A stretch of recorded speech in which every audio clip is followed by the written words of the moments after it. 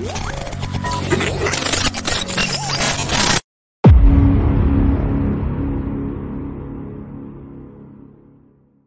latest team-up between Bad Bunny and Adidas puts a premium spin on the iconic campus silhouette, resulting in a shoe that's both stylish and luxurious.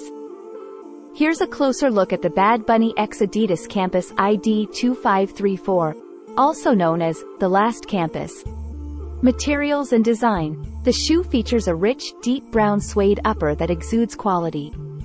This is contrasted by crisp white leather stripes and a touch of muted pink on the insoles, tongue branding, and eyestay, adding a subtle pop of color.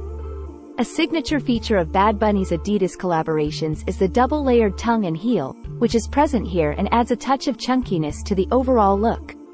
Taking inspiration from the skate scene, the shoe boasts a rubber mudguard for enhanced durability and a chunky midsole in a creamy off-white shade.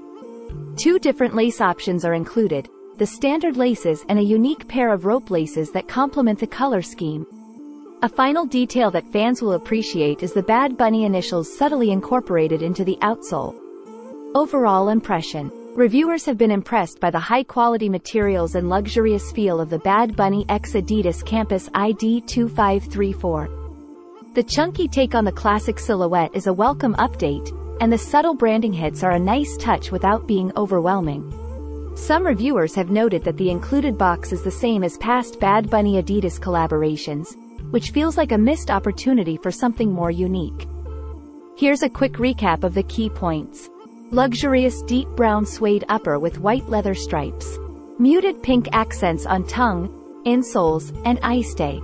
Double-layered tongue and heel for a chunky look. Rubber mudguard for durability. Creamy off-white midsole. Two lace options, standard and rope laces. Bad Bunny initials on outsole.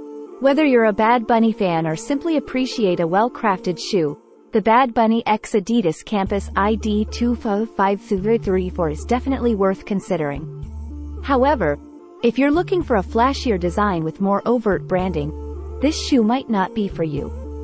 For a more detailed look, check out some YouTube reviews, YouTube, to see the shoe on feet.